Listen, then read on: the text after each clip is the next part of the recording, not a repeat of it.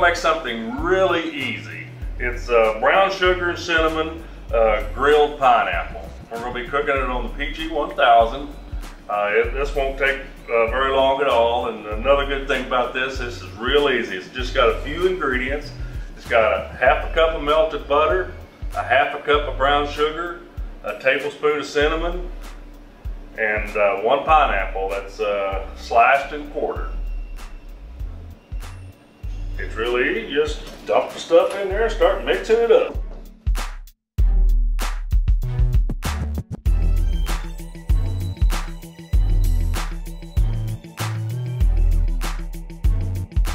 As you can tell, this is pretty thick, but that's okay because we want it to stay on the pineapple when we got it on the grill because we're going to be grilling these pretty hot.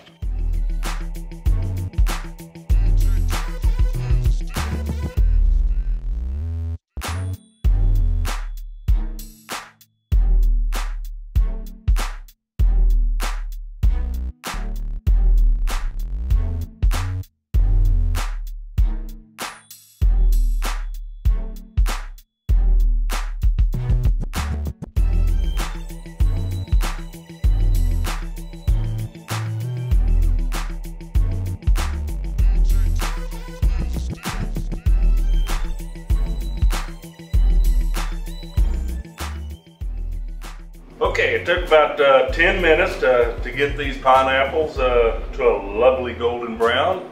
And then uh, we're going to take some more of the, uh, the mixture that we have, the, the butter and the brown sugar, and just brush on top of it. Wish you could smell this. This really smells good. And it's something really easy to make when you're when you just want to have something to snack on while everything else is getting cooked outside like I said, uh, we cooked it for 10 minutes and then it was done. So really quick and easy. There you have it. Uh, brown sugar, cinnamon, uh, barbecued pineapple.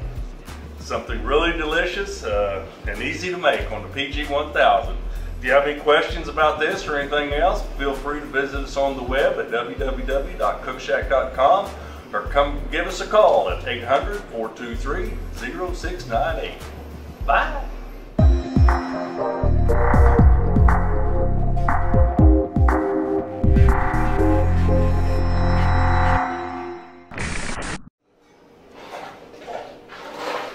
Mmm, that's good. Mmm. Mmm. Delicious.